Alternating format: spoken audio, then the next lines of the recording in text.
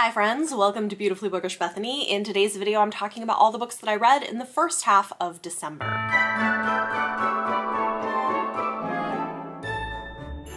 So we are rushing towards the end of the year and I am trying to get in as many things last minute as I can. I have to say, so far this month has been a really good reading month. I've read a lot of things I've enjoyed quite a bit. I've read some new favorites, which is exciting because I've been a little bit lower on those the last couple of months. Overall, it's just been a really strong reading month so far, so I have quite a few books to talk to you about today. In the first half of December, I read 15 books. This does include a couple of graphic novels and like shorter works, so we're gonna talk about all of those, and I had one DNF. If you're new to the way that I do these mid-month check-ins, I talk about the books that I read in chronological order. At the end of the month, I do wrap ups where I talk about books from lowest rated to highest rated, but for today's video, I'm just gonna be talking about these in the order that I read them. Beginning with my one DNF. The book that I DNF'd is The Hawthorne School by Sylvie Perry. This was an audio review copy that I had from NetGalley, and I got to about the 30% mark, I believe, before DNFing it. So this is pitched as kind of a gothic thriller about a single mom who sends her difficult child to a school that she thinks is the answer for them, but then weird stuff starts happening. And I like I got to a point in this book where I was like, I just like I can't I can't read from this character's perspective any longer, which is unfortunate because I do think that the atmosphere of the school is creepy and there's a lot of really weird stuff going on, which is interesting. But this mom just completely oblivious to so many major red flags. And at least for me as a parent of including of a you know like somewhat more challenging child around the same age as her child in the book uh i i did not find it believable at all at all. I was like, no, no, this is not remotely subtle. Like from the very moment that she goes to interview to check out the school, there are major red flags. And I'm like, I just don't buy that, that any halfway decent parent would go through this. So yeah, I don't know, like I just, I was like, I can't, I can't do this anymore. So I liked the concept. I do think the setting is interesting. The setup of the school is interesting, but it really needed a lot more subtlety in my opinion to make it creepy, but in a way that the mom wouldn't obviously pick up on. It is a debut novel, so part of it might just be that the author hasn't done this before and like made it way too obvious, but yeah, I idea enough to that one. The first book that I finished reading was Next Year in Havana by Chanel Cleeton. This was a book chosen for me by one of my patrons to read and I liked it but I didn't love it. I had kind of mixed feelings about it. So it's a dual timeline story. Part of it is set in Havana, Cuba in 1958 and the other part is set in 2017 following the granddaughter of the other main character going to Cuba for the first time in her life to scatter her grandmother's ashes. And then the 1958 part is leading up to and during the Cuban Revolution, following the daughter of a wealthy family and kind of what happened. So what I like about this is the fact that it introduces you to quite a bit of the history of Cuba. It tries to talk about Cuban identity and how that becomes complicated when you are in diaspora and not living in Cuba for people who left during this time period and had the privilege to be able to do that. It, it, tries to kind of grapple with that, which is interesting. The romantic plots didn't really work for me, especially the modern one. I wasn't a huge fan. We spend a lot of the the early time of them getting to know each other with her thinking that he's married, even though he does turn out to be divorced. So it's not like cheating, but it's like it just feels kind of icky, and I didn't find it super believable, like their their relationship. So yeah, mixed feelings on this one. I gave it three and a half stars thinking about it now, this is really realistically probably more of like a three star read for me, so I might go back and change that. But there were things that I liked about it. I think it was interesting. I liked the historical piece of it, but wasn't a huge fan of the romance and yeah, I don't know, kind of a, a, mixed bag for me. Then I read a holiday romance anthology. This is How the Duke Stole Christmas by Tessa Dare, Sarah MacLean, Sophie Jordan, and Joanna Shupe. I really like the project of this book quite a lot. I think it's an interesting concept. All of the authors took inspiration from one of their favorite holiday movies and then turned it into a Regency romance. So if what you like in historical romance is believability and historical accuracy, that is definitely not what you're getting here, which I'm fine with. Like that in particular doesn't bother me. I I, I, don't really care. What do we have? We've got one that's like a Christmas Carol inspired, got one that's Home Alone inspired, one that's inspired by Little Women, um, I think one that's Miracle on 34th Street. So kind of a, a mix of things. And the stories themselves were a bit of a mixed bag for me. So the first three stories I would say that I liked but didn't love. They'd probably be in like the three and a half to four star range for me, but perfectly serviceable, enjoyable, kind of what I'm looking for from this kind of a holiday romance story. The fourth one I didn't like very much. I didn't like the power dynamics and didn't find the romance palatable or believable because it's a boss employee relationship set in a historical time period where you've got even more unevenness and power. I just, I like, ugh, I don't like it. I didn't, I, I didn't, I didn't like the fourth one. so that one is Christmas in Central Park by Joanna Shupe. It's, I think, supposed to be kind of loose, loosely reimagining Miracle on 34th Street, but um, yeah, that one was definitely a miss for me. So as a whole, I ended up giving the collection three stars. I like the idea. I definitely enjoyed the first three stories. The fourth one, not so much. Then I read a book, and I'm not gonna say a ton about it here because I read this for a video project that should be coming out soon. But I read this because of Rachel over at Reads with Rachel. It's one of her favorite books of the year and she'd been like hyping it a lot. And so I finally read Iron Widow by Xiran Jay Zhao and I freaking loved it. Loved it. It was so good. Um, this was absolutely my jam. I get why there might be a polarized response to this because this has a thing that I love that a lot of people don't like, which is a prickly, unlikable heroine. She's not, like, she's not nice and she's not meant to be likable, but I love that. I really enjoy that in my heroines. Some people do not, but I was a huge fan of this. I thought it was fascinating the way that she blended actual history, like Chinese history, with futuristic sci-fi technology and like mecha robots and this kind of like sci-fi slash fantasy magic system, except maybe it's technology, not magic, but it feels kind of magic-y. It's really cool. It's really cool. And I loved it. It's also polyamorous. There's a love triangle, but they don't choose. They just all are together and it's great. It does deal with a lot of really intense, hard-hitting topics, so if you need content warnings, check them out. I do have them in my Goodreads review, and my Goodreads is always linked down below if you want to see that. But yeah, this was so good.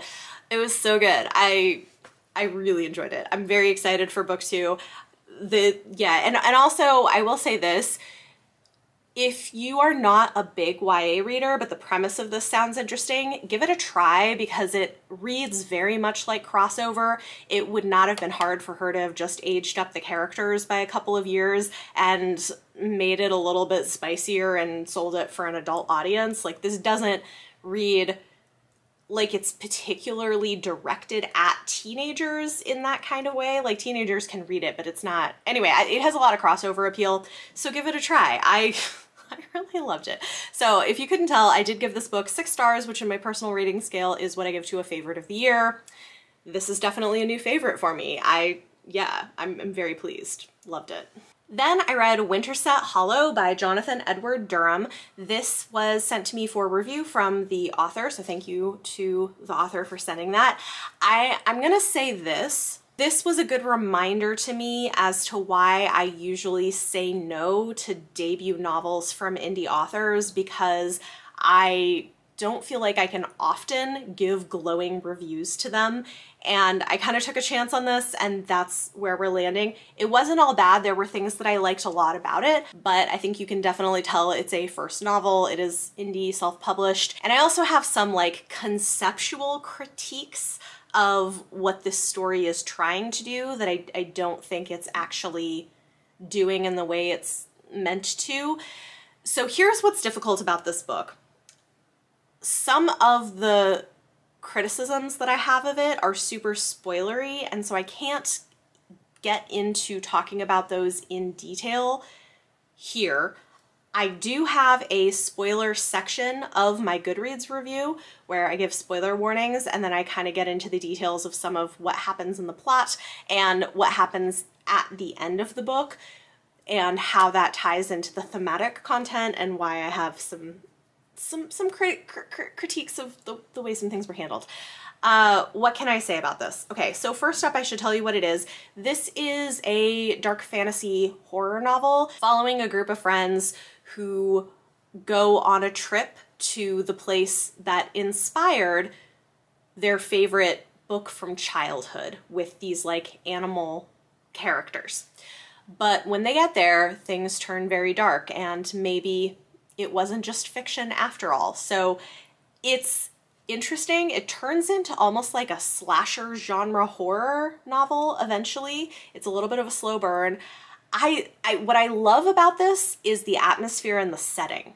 The detailed way that he writes the setting is so good and creepy and like builds tension that I thought really was done really well.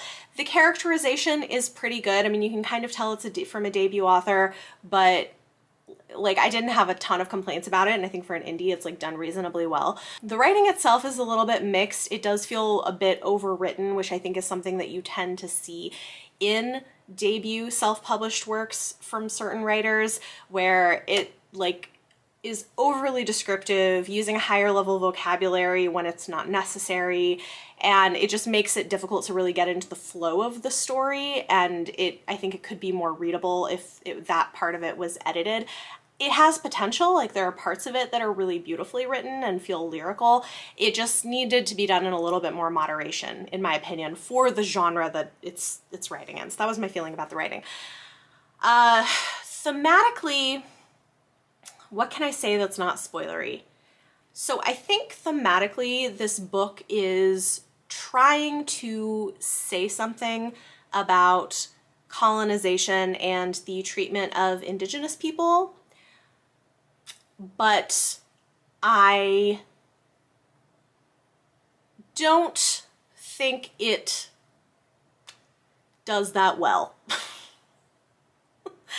uh, yeah, I think it ends up instead of doing what I think it's trying to do, it ends up really centering the narrative of the colonizer in a way that I think is potentially harmful. So I don't feel like that was the intent of the author, but given the way the end of the book goes and all of the things that happen, that's kind of what it ends up being. So uh, yeah, I ended up giving this book three stars. I do think it is a very ambitious debut. I think there's a lot of promise here. I would be interested in reading something else from this author in the future because there was a lot conceptually that I loved here. And the way that the the setting and the atmosphere was done was just like oh, it was it was it was very good. It was very creepy. There's a lot of content warnings here. Like this it's it's it's not a light book. It's definitely horror. So I wanted to love this more than I did. I, and and I think this is reinforcing to me that I, I really, really do need to do better about sticking to my rule about not accepting for review debut indie authors. Because I've been pretty good about implementing that that most of the time. This one, I think the premise was just so intriguing to me and the fact that it had been nominated for a Bram Stoker Award, I was like, well, like it sounds really cool. And it is, like it is promising, but you know, it's hard with an indie book. I want to be able to give it a glowing review and in this case I can't, but I do think there are some people who are still gonna really like this. Um, yeah, anyway, so who knows? Maybe my review will make you more interested in picking it up, but I did give this three stars. Thank you to the author for sending it, and uh, sounds of interest, you could check it out. Next, I read Better Off Wed by Susannah Craig. This is a historical romantic suspense. It's the third book in a series that I've generally really enjoyed, and I have this for review from NetGalley. I've got to say this isn't my favorite book in the series. I did still like it, and I like the concept of it, but I probably preferred the first two books in the series The premise is fun though. The heroine in this is secretly an avenging angel who steals from predatory men and gives what she steals to the women that they leave in their wake, like pregnant and with nothing, so maybe like maids or whatever. And I I really like her. I really like that. I think that's really fun. The hero is part of this spy organization that we know about from earlier in the series and he's sent to try to recruit her to their cause and some things happen and they end up yeah, I yeah, I don't want to give too much away about this, but it's fun. It's a romantic suspense. It's historical. My my main complaint with this is that partway into the story, our heroine sustains an injury to her ankle, and it makes her a much more passive character through much of the book because she's recovering from it than I would have liked her to be. So I didn't I didn't love that in the way that I've I think I've loved earlier books in the series. I still liked it. I think it's fun. I think if you're looking for this kind of a genre where you have these great heroines and like I, I always like the the heroes in these books as well. They're wonderful and like happy to have these strong women at their sides. It's great. Uh, I did give this one four stars, so even though it's not my favorite book in the series, I did still really like it. Next, I read Witchmark by C.L. Polk. This is the Blades and Bodice Rippers book club pick for this month. We actually have a second one. kind of last minute decided to add on, and the other one I had read a couple months back, so the other one is uh, Marvelous Light. And actually, if you want to join us Boxing Day, uh, December 26th, we're going to be on my channel talking about these books. But this is a historical fantasy romance. It's set in an alternate Edwardian England where magic exists and there was a lot that I really liked about this. It's a bit of a slow burn. It took a while for me to really fully get into the story, but once I did, I was hooked. I would definitely read on in the series. I definitely want to read more from this author. The main character we're following here is a doctor who has some magical abilities, but he's in hiding from his powerful family because the way that magic works in this England is that only magicians with a certain type of power are highly prized. Any magicians with a different kind of power are sort of bloodbound to them and they're used almost like batteries for the, the power of, of these other mages. And so he has sort of run away. He's in hiding from his family, but his sister tracks him down and wants him to bind with her. And um, meanwhile, there's kind of a murder mystery plot going on. I just, I really liked this a lot. I think it is chilling the way that it ends. And one thing that I do think is interesting about this book is for the time period that's set in, it does a good job of somewhat, not fully, but somewhat reckoning with the impact of colonization and empire in some interesting ways. So yeah, so there's all of that, but there's also a romance with a Fey man. It's like a, a male-male romance, and I really liked that. It's slightly steamy. I, I thought this was very good. I gave it four stars. Did take me a little while to get into the story. Wasn't like a perfect book for me, but very good. By the end, I was super into it, and I would definitely read more from this author in the future, so it was a win for me. Then I decided to read a couple of graphic novels that have been sitting on my shelves. First up, I read Djeliya by Juni Ba. This I picked up a copy of earlier this year. I heard about it from Jocelyn at Yogi with a Book and was like, because she was on my podcast and mentioned it, and I was like, oh, that sounds interesting. It is a West African fantasy epic. I would actually call this sci fantasy. It's kind of blending fantasy and sci-fi elements and I really liked it a lot. I thought it was super interesting. It's set in Africa. There's this like tower and there's villains and I don't, I don't want to like give too much away because these don't take that long to read, but I was very into this there's a lot of pretty detailed world building and you do have to read it pretty closely to follow the different plot threads and follow what exactly is happening in the story. But I really loved it. And then at the end, it's kind of cool because there's information about the folklore, about some of the Adinkra symbols that it's that it's using. They're um, says from the peoples of Ghana and the Ivory Coast. So that's kind of cool and it uses that throughout the book. And yeah, I just like this was really interesting. And I think that the story told here is loosely inspired by a tale from West African mythology. I'm not sure exactly what. I think it talks about it somewhere in here, but I gave it five stars. I thought it was great. I would definitely read more from this creator in the future. Then I read A Gift for a Ghost by Borja Gonzalez. This um, was a little bit more of a mixed bag. This is one of these like books I had picked up uh, an arc of years back at a convention I went to. I have like some, a few sitting on my shelves that I just haven't gotten to, so it's it's a little old, but um, it went on sale last year. Yeah, I don't know. This is the the the idea is interesting. So we've got one timeline set in 1856 where there's a girl who is like writing horror poetry and stuff instead of like being the lady she's supposed to be and then set in like modern era 2016 in 2016 there's like three teen girls who want to start a punk band and there's some like stuff between dimensions or timelines or whatever. It's like I like the ideas and I like parts of it but the it's confusing the, ending doesn't make a ton of sense and I just wanted a little bit more from it. So I liked it, but I didn't love it. I gave it three stars. Then I read another e-arc that I had for review from NetGalley. This is called African Town by Irene Latham and Charles Waters. It's a historical fiction novel in verse that's pretty interesting.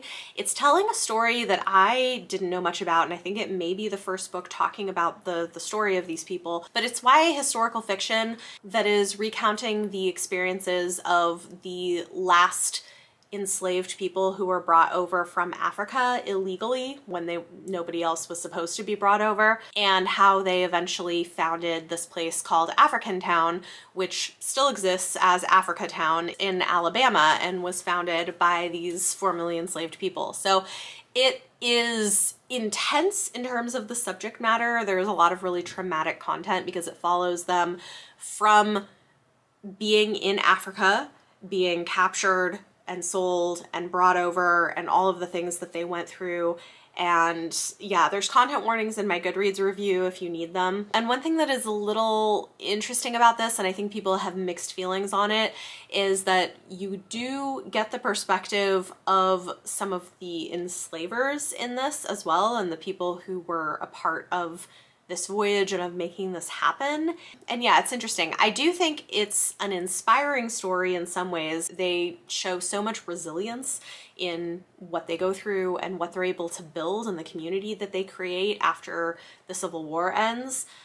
But it is intense. The subject matter is a lot. And yeah, I've seen an interesting review that I link in my Goodreads review from a black reviewer that might be worth reading, questioning the fact that it's a multiracial team that wrote this book, so it's a white woman and a black man working together. And I guess they've worked together on other projects in the past, but I think this reviewer was questioning whether you know, a white woman was the person to tell the story. So there's a lot of questions about it, but I do think it's an important story to have out there. And I could see this being a great text for teachers who want to talk about the time period or talk about different elements of the story. So a little bit of a mixed bag there, but I think it's fairly well written. It's easy to read. It's very accessible, which is another reason why I could see this being really good in the classroom because it it's not difficult to get into. I ended up giving this book four stars. Then I read an e-arc of Where the Drowned Girls Go by Seanan McGuire.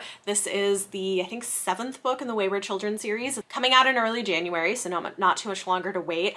I freaking loved it. I think this is one of the best installments in the series. I love the series as a whole, but this one was really, really cool and interesting. It primarily follows Cora, and a lot of the thematic content here is talking about fat phobia, which is just done beautifully.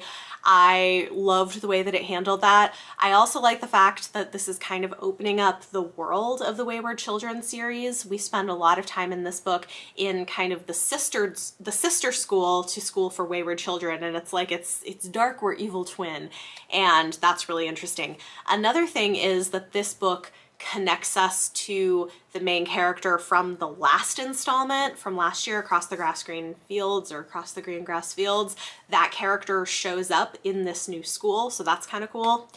I just love this. This was fantastic for me everything I wanted it to be. Uh, one of my favorite books that I've read this year. So I also gave this one six stars. So it's a favorite of the year. I know it's not coming out until next year, but definitely would look forward to this. If you're a fan of the Wayward Children series, I'm telling you, you're probably gonna love this installment.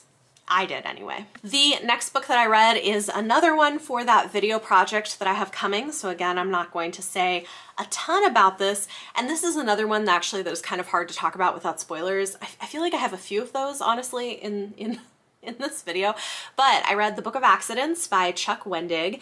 This is very interesting and I'm I'm still kind of thinking about it and just trying to decide how I totally feel about it. So this is literary horror that's a bit of a genre bender. I don't want to say too much about that. One thing that's interesting about this is that around halfway through the book, some major things shift. There's a big tonal shift and it did not go the direction I was expecting and I I have mixed feelings about the direction it took. I see why it did it and there were things that I think are really interesting about the choices that this made. I don't think it was quite what I was expecting or looking for from this book, but I don't dislike it. And I, this is the kind of book that I could see if I went back and reread it, liking it better, knowing where it was going to go. So this is an interesting take on a family moves into maybe a haunted house story. Thematically, this is really a book about generational trauma and abuse. And it is intense, it is horror, it does get quite gory. It also deals with some graphic versions of those main topics that it's it's getting into. I think it handles the topics pretty well. Thematically, I think this is really interesting. There was a lot that I really liked about the writing itself, although I think this book is too long. Like it's over 500 pages. I don't think it needs to be that long. This really could have been shortened, but this makes me interested to pick up some other things by Chuck Wendig. This is the first thing I've read from him, and I, I liked the way he did characterization. I liked a lot of the way that he did his writing, and this is definitely eerie and atmospheric. It's set in small town Pennsylvania and weird stuff is going down. I, I don't want to say too much more than that, but I did really like this. I think I landed on four stars for it. Although the more I think about it, the more I think maybe this is like a four and a half star book. I, I gotta think about it. The more I think about it, the more I like it, which which is a good sign. So happy to say I enjoyed this. It was very interesting. Then I read another e-arc from NetGalley. This is for Shattered Midnight by Dhonielle Clayton. It's another January release. This is the second book in a series coming out from Disney, a YA fantasy series that's kind of interesting. The first installment was um, A Broken Wish by Julie C. Dao. This is set farther in the future. So Broken Wish is set, I think, like late 1800s in Germany. This book is set in 1920s New Orleans, and then there's going to be two more books in the series, each from a different YA author, set further in the timeline um, as we go forward. It's kind of following like a family curse. I really loved this. I think if you like Dhonielle Clayton's writing, you're going to enjoy it. If you like her kind of lush descriptions, her messy characters, and if you want something that's going to really give you those vibes of New Orleans food and jazz, it, it does such a good job of of evoking that sense. And I really liked our heroine. She's been sent down to New Orleans to live with her aunt after her magic kind of got her into trouble but she's still in New Orleans sneaking out at night to go perform in jazz clubs and ends up in a forbidden romance with a white boy piano player that she meets. And one thing that I think is interesting about this book is it does a good job of pretty realistically laying out why that kind of an interracial relationship would be incredibly dangerous, especially during that time period. It's not made light of, like you really see why that is, which which I think I think is handled well. And the other thing that's kind of interesting about this is while her aunt does some horrible things, it really walks the line where you understand why and you understand where she's coming from and that she wants the best for her niece, even if she has kind of twisted ways of going about trying to make that happen. So I really liked it. I gave this one four and a half stars, and I think if you like Dhonielle Clayton, if you like her writing, you're probably going to enjoy this as well. I think she did a great job with it. The next book is the last one I've read so far for this video project that is coming, and it is the other one that I like can't talk much about because of spoilers, um, but I read The Other Black Girl by Zakiya Delilah Harris. This is another one with a unlikable heroine in a different sort of way, and it's interesting to me reading the reviews because man, this is a polarizing book. I loved it. I'm just gonna say I I loved this book and I think what it's doing is so interesting. A lot of people didn't and for a variety of reasons. Some people because they didn't like the main character, which I don't think you're supposed to like her to be honest. Like I think that's intentional, but I, I think there are people who need to be rooting for their main character or like the main character for a book to work for them. So what is this book? It's a little, again, like without spoilers, it's really hard to talk about. This is a quiet literary horror. It's very slow burn. It's not super graph, never super graphic, but it is definitely a horror novel. And it was not what I was expecting. Like, if you start reading it and you think you know where it's going, like, you probably, like, you don't know where it's going. This was so interesting. Like, the ending was, was uh, bold, I guess. A lot of people hated the ending, but I, I thought it was it was an interesting ending. In some ways, this is a commentary on Black identity, especially in the workplace, about microaggressions, respectability politics. It's a very interesting book that is pur purposefully, what's the word I'm looking for? Purposefully being controversial. It's following a young black woman who is working as an assistant editor for a well-known publishing house. And she is the only black girl on the editorial staff until they hire a new girl, which she's initially excited about until she starts to feel sort of like, oh, well, maybe this other girl is like, like better at being black than me, like am I black enough kind of thing. But then it goes some really interesting places. So I'm not gonna say any more than that because I don't want to spoil things, but I do think this one is worth reading. It's also one that I gave six stars to. I, I, I've had a great first half of the month, guys. I am thrilled to have like three new favorites to add to my list. It's really exciting. So yeah, uh, a controversial one, but I, I really liked it. Two more books to talk about. First up, I read Diary of a Young Naturalist by Dara McAnulty. This was sent to me for review from the publisher, so thank you to them. It's a really interesting book. It's not super long, but it actually did take me quite a while to read just because of the type of writing it is.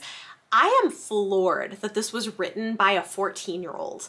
Like, that is wild to me. This was written by a 14 year old kid who lives in Ireland and is autistic and is a naturalist. He loves nature, creatures, plants and is an activist for them and wrote this book and it's written as diary entries through the following him through a year of interacting with the nature around him, also spending time with his family, getting involved in activism, dealing with bullying, moving to a new home, uh, kind of like his life as a teenager, but then a lot of descriptions of like nature and animals and stuff.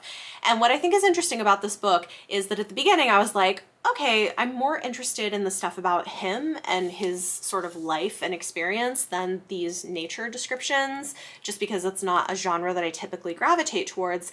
But by the end, I just like his writing is so beautiful and lyrical, and his passion for the natural world just makes you want to be excited about it too, which I think is very, very cool. So I think this is such an impressive first book. And I also love the fact that he pretty openly shares his experience of dealing with the world as an autistic teenager and what that's like. And coming from a family of mostly autistic people, his mom, his younger brother, and his younger sister are all, are all autistic as well.